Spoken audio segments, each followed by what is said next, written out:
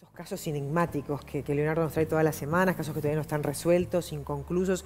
El caso de Amparo Fernández, que era una enfermera santucera que desapareció ahí por Sarandí Grande, ¿no? Así es, Claudia. Eh, ¿Hace cuánto de, de, este hecho y de la desaparición de esta persona que nunca más se supo de ella? Bueno, ya se aproxima eh, el año, fue en junio del año pasado eh, donde Amparo Fernández, esta joven de 36 años, eh, va hacia la zona de Sarandí Grande eh, a encontrarse con este amigo que le había regalado un caballo, que le había conocido en una cabalgata, y luego desaparece.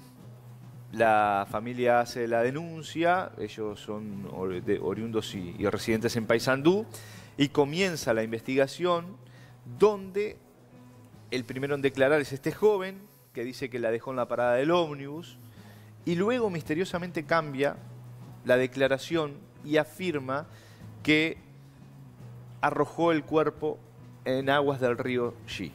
O sea que para la justicia y la policía esto es un asesinato.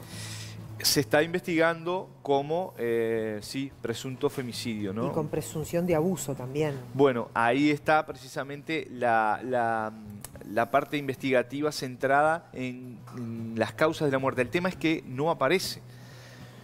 Vamos a, ver, y, ya vamos a ahondar en eso, ¿qué decía la prima de Amparo cuando se suscitaba esta, esta situación?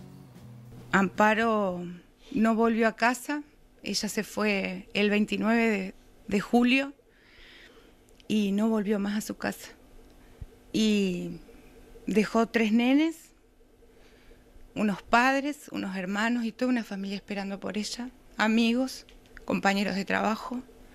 Era muy querida en, el ambiente de la salud, ella era enfermera o es enfermera, porque la verdad que, que nadie se convence y nadie pierde las esperanzas de que, de que esté escondida, no sé, porque la verdad que no sabemos qué pensar. Eh, era, una, era una gurisa recontra alegre tenía unas ganas de vivir terrible. Esta persona que en realidad me gusta más llamarlo asesino, eh, eh, manifiesta eh, que, él la tiró del puente del río Xi y, no, y luego de eso se, se negó a declarar y sigue y sigue parado en ese mismo discurso. Este hombre le arrebató la vida, le sacó la madre a tres niños, nos dejó sin una prima eh, y pedimos justicia. Bien, ahí teníamos a, la prima de Amparo. Se hace una búsqueda realmente... Vamos a eh, aclarar por las dudas de vuelta que esto es un testimonio que ya tiene un año. Sí, sí, sí, sí, sí. Eh, se hace una búsqueda realmente muy extensa, eh, pleno invierno, temperaturas bajo cero. Bueno, allí la policía de, Florida trabajó con, sus autoridades ah, presentes en el lugar, personal de la Armada, se rastrearon kilómetros y kilómetros del río Xi con buzos, bueno, personal pie a tierra por el costado del río y no se encontró ningún indicio, ningún elemento. Ahora, perdóname, ¿la familia conocía al, presunto autor? Porque tengo entendido que se habían conocido a través de las redes, y que, generan una empatía ahí, pero la familia no lo conocía. No lo conocía, no lo conocía. Y, vamos a, a escuchar qué decía el jefe de policía referente a esto, y después viene la parte más llamativa, que es cuando se iba a hacer la reconstrucción en Sarandí Grande, eh, ahí surge bueno, un dato que, desorientó a todo el mundo. Vamos a, escuchar lo que decía el jefe en aquella oportunidad. En este momento andan alrededor de 70 hombres buscando. Se revisaron varios lugares en el entorno del, establecimiento, teniendo la hipótesis de que no lo hubiera tirado en el río. Se buscaron en unas canteras de algunos vecinos. Este, ingresamos a varias plantaciones de maíz y de sorgo eh, pie a tierra también en, procura de eso. Tenemos dos equipos, uno en el río y otros dos equipos en, tierra. ¿no? hay indicios todavía de nada? Ningún indicio hemos encontrado, lo único que se encontró desde el inicio de esta investigación fue el teléfono celular destruido, este, que el imputado indicó dónde se encontraba.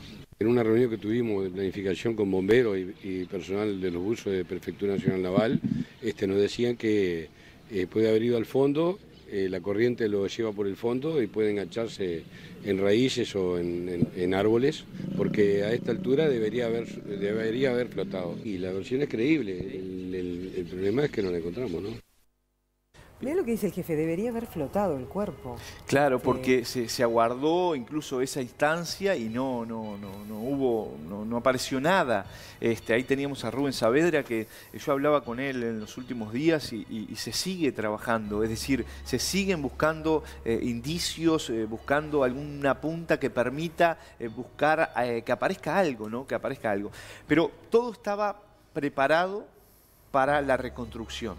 La reconstrucción que va desde la estancia donde se encontraba trabajando ocasionalmente, quien era empleado ahí es el hermano del imputado, hacia el río Xi, hacia Polanco del Xi, donde supuestamente dijo que arrojó el cuerpo. Allí el hermano lo que dice es que escuchó una conversación, una discusión entre ambos. Él lo que dice es que sale en la camioneta, se queda estancada la camioneta, toma la moto y la lleva. Un camino eh, muy difícil de transitar en una moto si uno se deja llevar por lo que dijo en segunda instancia este sujeto que la tenía, la llevó en moto a la, joven hacia el río y, allí la arrojó. Todo preparado, la seguridad, eh, un despliegue tremendo, la fiscal, los abogados. De repente este sujeto baja de la camioneta y les dice, bueno, en realidad yo voy a contarles qué pasó cambia totalmente la versión. Dice que la secuestraron, que vinieron unos encapuchados y, se la llevaron. Y ahí desnorteó a todo el mundo, se suspendió la reconstrucción y, bueno, eh, se comienza a analizar también esta otra declaración y así va pasando el tiempo. Esto llevó a que la Fiscalía prorrogara el plazo de medida cautelar de privación de libertad hasta la espera del juicio. Cabe agregar que la medida cautelar eh, eh, puede extenderse durante dos años.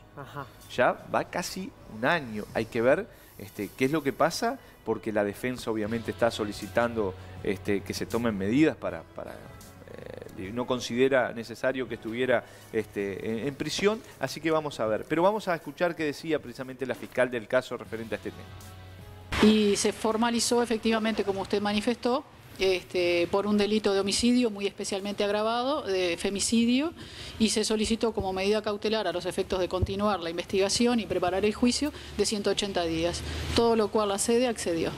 Las evidencias más trascendentes. Eh, básicamente eh, testigos, el teléfono, las evidencias que se levantaron del teléfono del propio imputado, este, previa orden de allanamiento y en el momento de la detención. Evidencias que también se levantaron en el allanamiento en la finca, eh, que además se van a continuar porque van a, van a tener otras pericias posteriores, esas evidencias. Este, mm, eh, posicionamiento de la antena del celular de la víctima, donde lo señala la última comunicación en el lugar de los hechos. Posteriormente se encontró este, el celular destruido, también cerca de la zona donde estuvo ella con, con el imputado y básicamente es más que nada.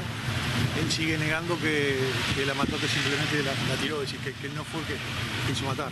Él se negó a prestar declaraciones en la, en la fiscalía, pese a que la defensa refiere que él está colaborando con la policía, bueno, con la fiscalía no es así. Sí, efectivamente, sí. Por las evidencias que teníamos, ella ya tenía un tipo de relación con él de hacía un tiempo, si bien se veían esporádicamente, y nosotros entendimos que con esa evidencia reunida correspondía esa imputación sin perjuicio de que, bueno, después en el juicio oral posterior se pueda cambiar o confirmar. Bueno, son testimonios de archivo de la fiscal, como decía Leo, ya casi un año de la desaparición y bueno, todavía este, se seguirá en esta circunstancia y se seguirá investigando. Hay que decir que una mujer muy querida además, esto motivó la movilización de los vecinos, tanto en esa zona como en el propio Paysandú, ¿no? Sí, sí, sí, sí. Este, este Y, se está esperando, bueno, que, aparezca algo y, bueno, ver este, también el comportamiento de este hombre que está imputado, fue el último que la vio, eh, y ese cambio de versiones permanentes, se solicitó una pericia psiquiátrica también para, para este hombre, este, y bueno, habrá que ver qué, qué pasa, ¿no? Los días continúan y no, no hay novedades en cuanto al esclarecimiento de este caso. Leo, yendo al registro de, de lo que ha pasado en nuestro país, en la historia de nuestro país con este tipo de casos, eh, ¿hay un porce- porcentaje alto que luego de eh, pasados los años realmente se resuelva o, hablando con sinceridad, es muy difícil que, que se llegue a un resultado? Yo siempre digo lo mismo, no hay eh, crimen perfecto, hay investigaciones imperfectas. Claro. Entonces, lleva su tiempo y sobre todo, a ver, quizás, y ahí, eh, este, mm, con un, por ejemplo, un código viejo, si vamos a donde la policía podía interrogar, quizás hubiera podido Avanzado. sacar algo más en cuanto a, a dónde está Amparo. Claro. Perfecto. Bueno, as- así le ponemos punto y coma entonces a, a este caso.